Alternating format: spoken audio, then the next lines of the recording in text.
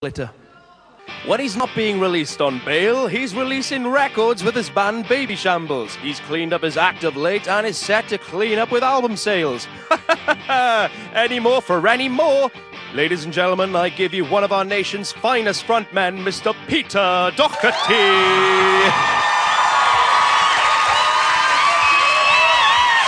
Yeah, thank you.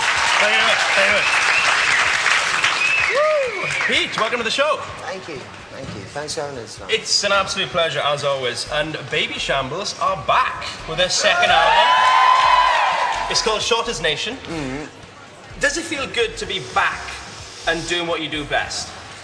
Uh, yeah, I don't know really. It's just, it's, all- it's all quite new, really, the way we're doing things at the moment, if you know what I mean. And uh, yeah, it feels great to be honest, I won't lie. Last time you were on the show, we asked you, have you turned the corner? You said And I lied and said yeah. yeah. you lied. yeah, you lied big time. Like, yeah, I'm going to ask you again. Let's. but that was then. That was then. This is now. Have you turned the corner? Yeah, absolutely, yeah, I have, yeah. It is undeniable. You're on great form. I haven't seen you this lucid in a long it time. was absolute murder, but yeah, it, it happened, and um, yeah, thank God. It's all going so well for you. I'm so chuffed you. Uh, you actually shared a stage with Carl uh, Barat this year, releasing the Libertines' uh, Greatest Hits album. That album just sort of came out recently. I didn't. Yes, didn't yes, it's out, it's anything to do with me or. It had nothing to do with you? Didn't know anything about it. So I saw the posters, to be honest. Typical rough trade style. What has it inspired you to reunite, reunite with the Libertines? Uh, Dare I say it? You must have been offered a tour. Somebody said, please, here's a stack of cash, go touring. no. When when I saw when did I see him? May was it? May or June? He said. Uh, he said maybe next year. You know. So there you go.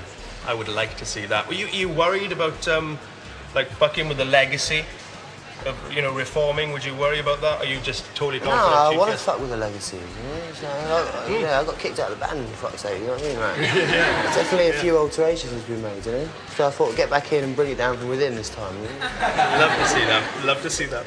I got a nice. This is a total, total treat. We were dabbling online recently, and we found this fantastic clip. Uh, it's No, you, no, no, no, no, no, You no, got to, no. no, no, no, you got to check it out. It's No, you no, queuing for the new can Oasis see the, I album. can see the keyboards that go on soon. It's you queuing for the new Oasis album. Pete. It's about ten years ago. You're gonna love it. It's brilliant. It's about ten years it's ago. 11 years ago. It's 11 years ago then, and uh, you happen to be interviewed by Eddie Tambor Morris. Check this out. It's amazing. Take a look at this. Uh, good morning. You've, uh, you're in the queue, you've got your croissant, you're sorted. Uh, h- how long have you been here? Oh, at least 17 minutes. Oh, right, you're a, new, a newcomer to this. Oh, yeah, yeah. And uh, can you um, can you sum up Oasis for me in, in one sentence? Yeah, well, I subscribe to the uh, Umberto Eco view that Noel Gallagher's a poet and Liam's a town crier. I've always, so, sorry about that. I've always seen that as a perfect combination, you know. If there was one word to sum Oasis up, what would that word be? Trousers. You want to be a presenter?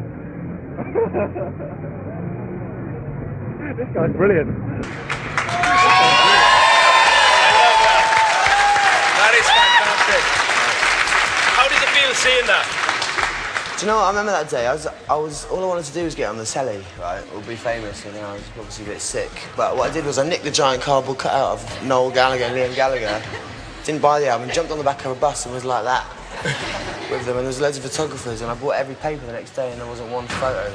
No way. Well, that's all changed now. Yeah.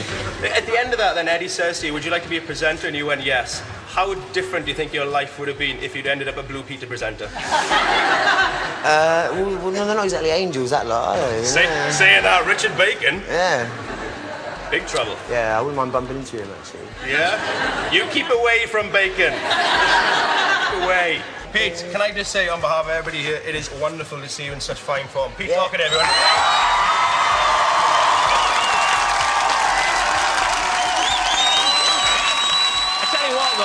It never rains but it pours, and tonight's torrent of local talent continues to soak us through. I'm literally wet with excitement as it gives me great pleasure to welcome to the stage Ouija Rock Rascals, sons and daughters.